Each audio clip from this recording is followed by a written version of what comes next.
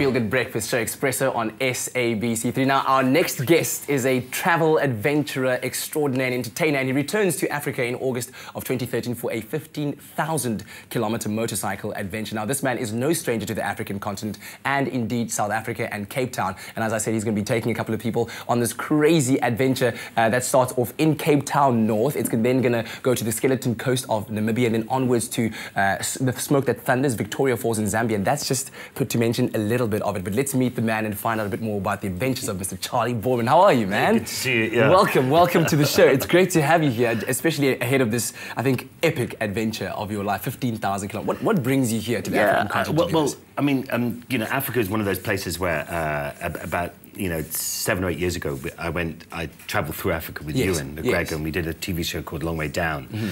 and um, and having done Long Way Round before, yeah, this was this was us there, and, and I kind of sort of fell in love with the place, and and and and have sort of tried to find ways of getting back all the time, and and, and because of the TV show.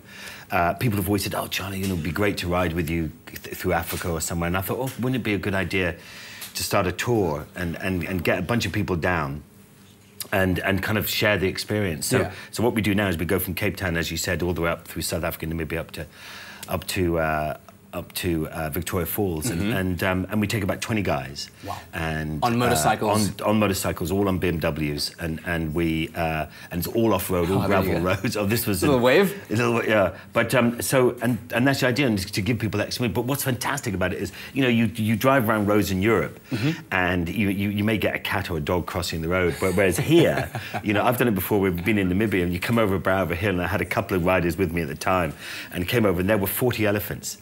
Just walking across the road, so you had to stop and wait Yeah. for these for these elephants And to what a cross the road. magnificent sight And that yeah, must have I mean, you've got this big mm, ma- female dominant um, elephant, the ears flapping at you, and you're only, you know, you're only 20, 30 feet away. I think there's the occasional sheep as well. Well, Yeah. that was in Australia. Yeah. As, as you can imagine, I don't know, what Australians do with their sheep, but uh, it's it's. Uh, um, but it is an amazing experience. And you have got kudu and eland and dik-dik and all sorts of animals just crossing the road. Little warthogs come running past. So Yeah. it's it's you know not only are you trying to stay on the road on these gravel roads, which, um, you're, you you know you have to deal with all the wildlife as well. Yeah. Now, unfortunately, Ewan's not going to be here with you during this adventure. He's, like you were saying, off being an A-list actor as he does. But how, how has your career changed, you know, from, from entertainer to, to being adventurer extraordinaire? And how, how do you work it out right now?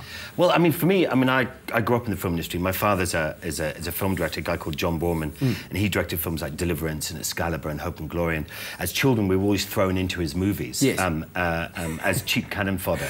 You know, he said, why, why employ children when I've got four of them? And so that, there's that there. But, but uh, Oh, so, so the first film I was ever in was, was a Deliverance. Yes. And so I wasn't the banjo player, just in case anybody wants to know.